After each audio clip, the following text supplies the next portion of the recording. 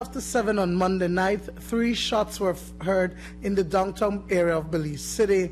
Moments later, police would discover the lifeless body of 26-year-old Jamie Chavarria. He had been shot twice, once to the head and to the back, by at least one gunman, whom it is believed lay waited him through a dark alley off Berkeley Street.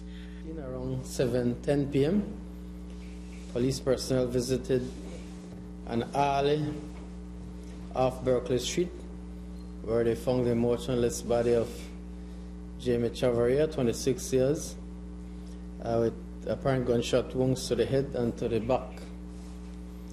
Uh, the scene was processed. He was transported to the KHMH, where he was pronounced dead on arrival. Chavarria was reportedly socializing with some friends and had decided to head home through the dark alley used by most residents of the area. But his killer or killers in the cover of the dark assaulted him from behind. We have our investigators uh, on the ground. They are uh, recanvassing the area thoroughly. Uh, this is a dark alley in that area, and the only information is that he was traveling through that alley to go and purchase an item. And uh, thereafter, three gunshots were heard in that immediate area, and thereafter, his body was found.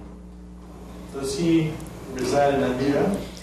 Yes, his girlfriend resided in that general area across the canal. Uh, this murder occurred through a dark alley, uh, which uh, has a partial building.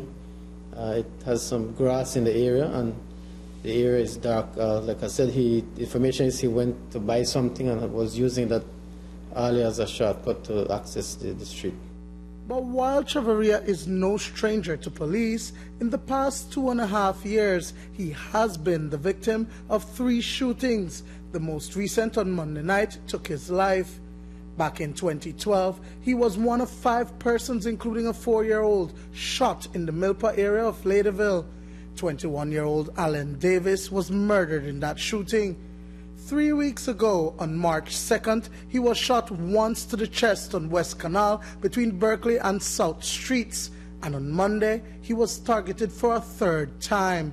This time, it turned deadly. Chavarria was killed in proximity to where he lived.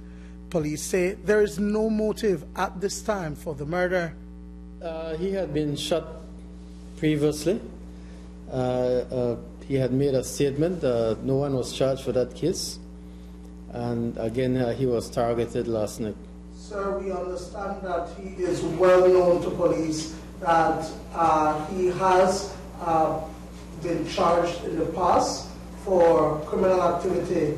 Can you talk to us on that? Yeah, he has been charged uh, before. Uh, he was the subject of other investigations that we had dealt with, in particular of a murder that occurred some years back at the Haulover Bridge area. Sir, any motive behind the Well, we, we have no, no uh, conclusive motive at this time. We are working on it. Uh, Like I mentioned, he had been shot before recently, and no one had been charged for that particular shooting. Uh, so far, we have no one detained for this uh, murder.